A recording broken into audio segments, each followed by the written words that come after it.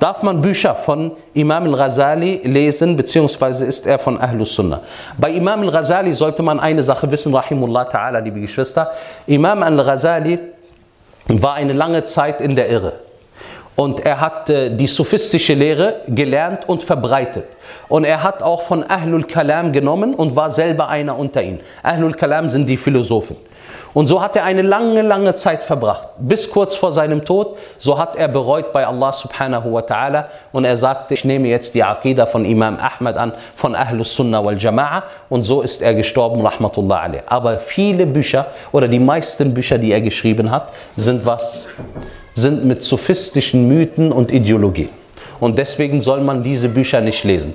Es gibt ein Buch, Ihya äh, Ulumuddin, von ihm zum Beispiel, das haben die Gelehrten korrigiert. Die Korrektur kann man lesen, aber das Buch an für sich in seiner ursprünglichen Form sollte man aufpassen. Auch bei Ibn al-Qayyim, rahimullah ta'ala, Ibn al-Qayyim war nicht immer auf dem Weg von Ahlus Sunnah, bis er seinen Sheikh, Sheikh al-Islam, rahimullah ta'ala, kennengelernt hat. Deswegen, es gibt Leute, der Irre, die kommen dir heutzutage und sagen, Qala Ibn al-Qayyim. Die Aussage, die er von Ibn al-Qayyim genommen hat, als später er rechtgeleitet wurde oder noch vor seiner Rechtleitung? Seht ihr, wie diese Betrüger sind? Und die Leute, die von Imam al-Ghazali nehmen, Aussagen, Imam al-Ghazali hat Tauber gemacht, subhanallah, wie könnt ihr diese Aussagen weiter verbreiten? Er wollte doch gar nicht mehr, dass diese Aussagen verbreitet werden.